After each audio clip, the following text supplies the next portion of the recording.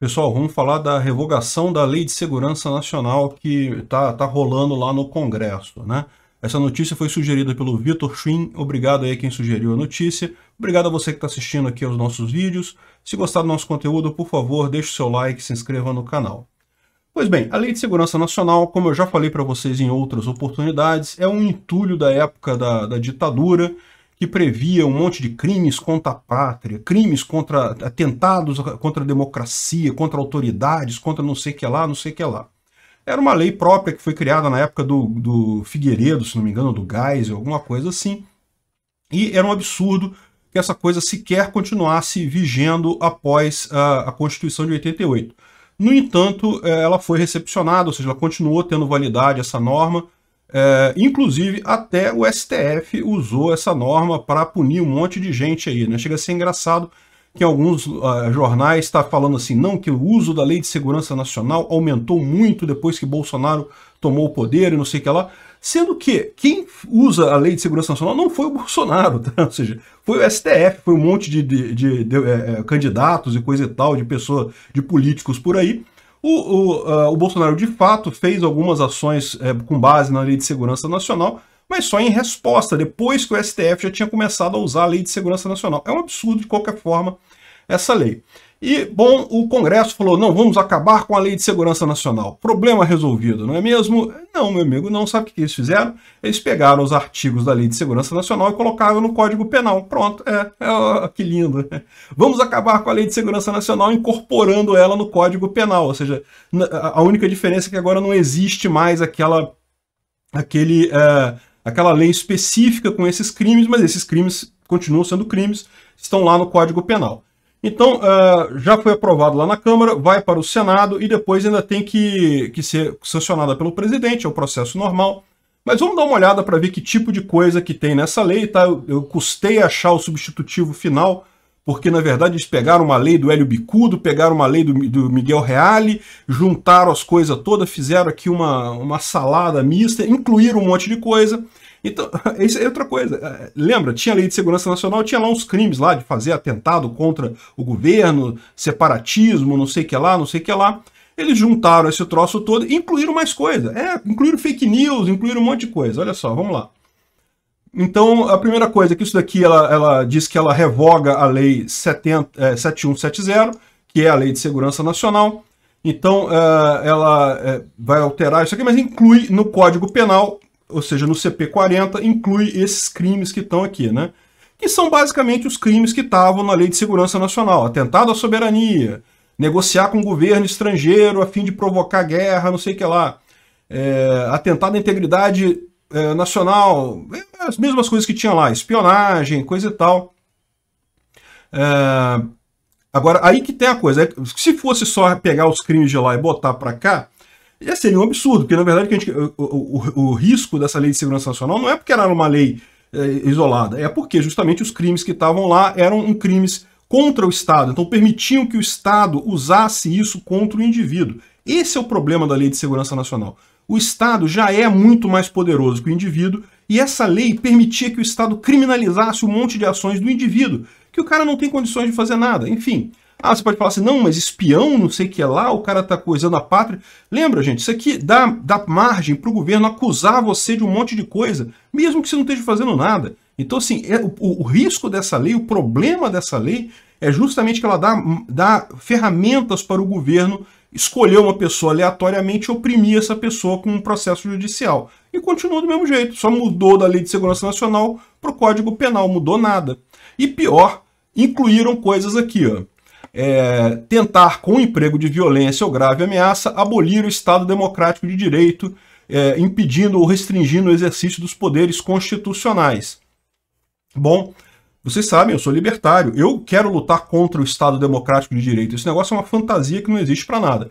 Bom, felizmente eu não uso violência para isso, é, nem estou ameaçando ninguém de nada, então eu estou tranquilo aqui. Mas, meu amigo, não tenha dúvida, se o governo vier atrás de mim, amigo, eles vêm. Arruma-se arruma alguma coisa. Golpe de Estado, tentar depor por meio de violência ou grave ameaça governo legitimamente constituído. Aí, ó, que coisa, hein? É, a dúvida é, será que não vão aplicar isso daqui para quem pedir impeachment agora? Vamos ver. crime contra o funcionamento das instituições democráticas e do processo eleitoral. Olha só, não tinha nada disso na Lei de Segurança Nacional. Isso aqui é tudo novidade. Eles aproveitaram esse troço para passar a famosa lei das fake news que eles queriam desde lá de início. Olha só. É, impedir ou perturbar a eleição ou aferição do seu, é, do seu resultado mediante violação indevida de mecanismos de segurança do sistema eletrônico de votação estabelecido pela Justiça Federal. É, meu amigo, hackear a eleição agora dá 3 a 6 anos de, de cadeia e multa. É, comunicação enganosa em massa, olha só, promover, ofertar, financiar pessoalmente ou por inter, pessoa interposta é, expediente não fornecido diretamente pelo provedor da aplicação. Olha só que coisa curiosa, vamos ler isso aqui, olha só. É, pessoalmente por pessoa interposta mediante uso de expediente não fornecido diretamente pelo provedor da aplicação de mensagem privada, campanha ou iniciativa para disseminar fatos que se sabem verídicos, capazes de colocar em risco a rigidez do processo eleitoral ou o livre exercício dos poderes constitucionais. Pena de 1 a 5 anos e multa. Olha só que coisa, né? Isso é o que eu falo para vocês.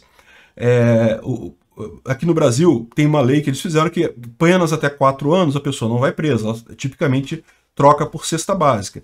E tem uma regra que diz que você não, não pode fazer prisão em flagrante, ou prisão preventiva, ou prisão temporária por um crime que não tenha a prisão definitiva. Então, se o crime for até quatro anos de cadeia, é, não poderia haver uma prisão em flagrante ou uma prisão é, preventiva durante o período eleitoral. Repara que eles botaram cinco anos Cara, não tem lógica nenhuma uma pena tão grave para um negócio que não faz sentido nenhum. Vocês sabem, eu já falei várias vezes aqui, o pessoal acha que o problema é fake news e não sei o que lá. Não é. O problema é a informação descentralizada e distribuída. Os governos, o que, que eles fazem? Eles pinçam, eh, a oposição principalmente, pinçam alguma informação, diz que é fake news e não sei o que lá, quando na verdade não é o fato que está sendo contestado, é a opinião que está sendo contestada. A gente já mostrou isso várias vezes aqui, é muito fácil fazer esse truquezinho para dizer que é fake news. Então isso aqui é aquela velha história para tentar dizer que é, é, é, o velho trauma da esquerda, que os políticos como um todo estão sentindo, tá? De pressão por conta das, da informação descentralizada distribuída. Ótimo, eles estão errando na, na, na, abordagem deles.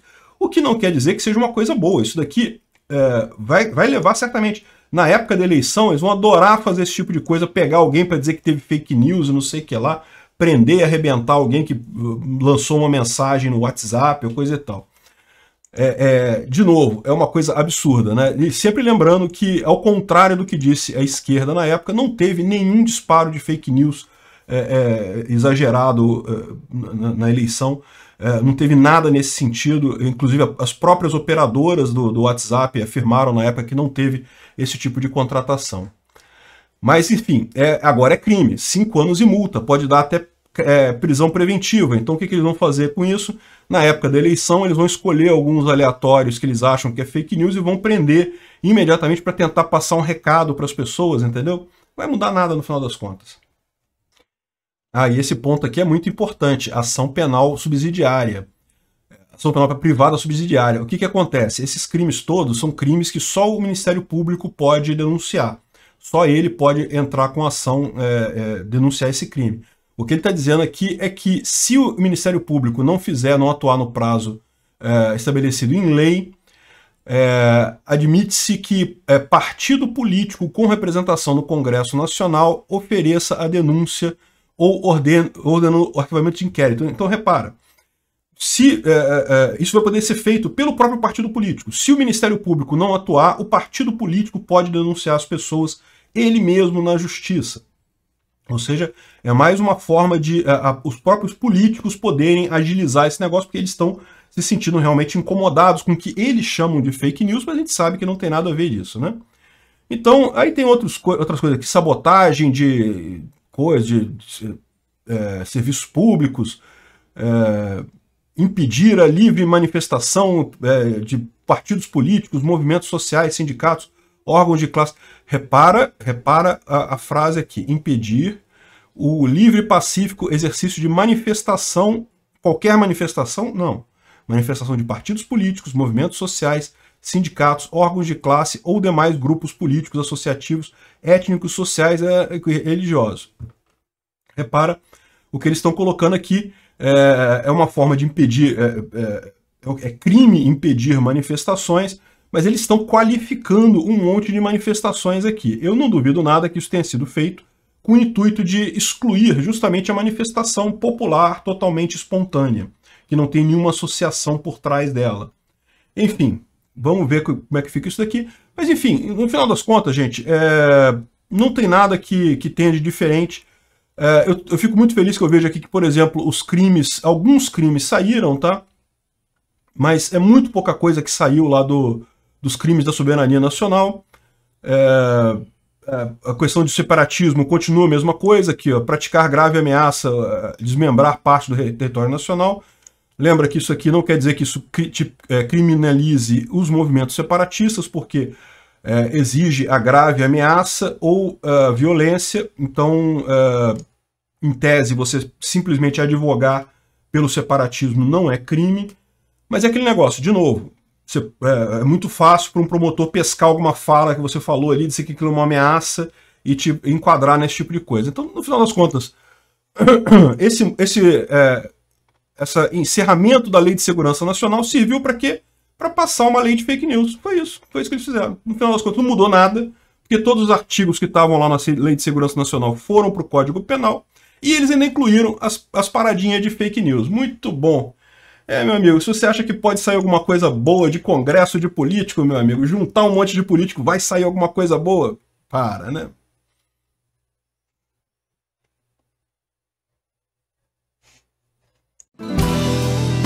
Se chegou até aqui e gostou do conteúdo, clique no like e se inscreva no canal. Isso me ajuda e ajuda também a causa da liberdade, pois o YouTube vai passar a recomendar mais os meus vídeos e vídeos com temas libertários para você e para outras pessoas. Considere também clicar no sininho e pedir para ser notificado de novos vídeos. Caso queira sugerir uma notícia para falarmos aqui, é só ir no nosso site https ancap.su, clicar lá em sugerir uma pauta, colocar o link da notícia, pode acrescentar alguma informação se você quiser. Eu agradeço a todos que nos ajudam a fazer este programa.